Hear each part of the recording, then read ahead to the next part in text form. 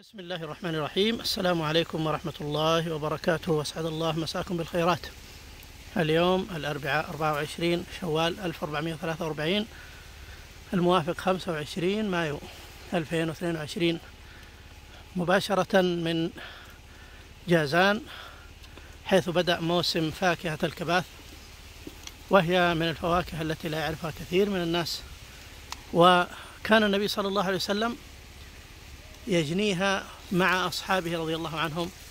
آه، عن جابر بن عبد الله رضي الله عنه قال كنا نجني الكباث مع النبي صلى الله عليه وسلم فقال عليكم بالأسود منه فإنه أطيب.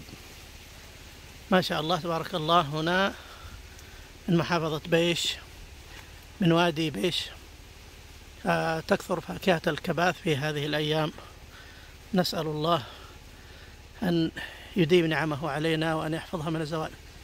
ما شاء الله تبارك الله هذا الكباث في شجر الأراك ما شاء الله تبارك الله.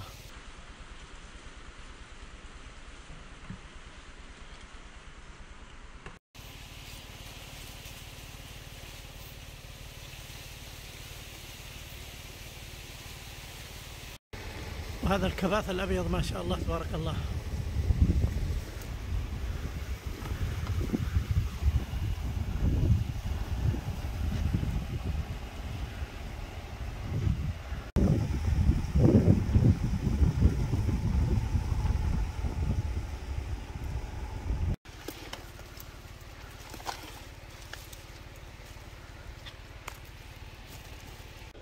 ما شاء الله هذه طريقة جن الكباث علبة تعلق على الحلق حتى لا تسقط.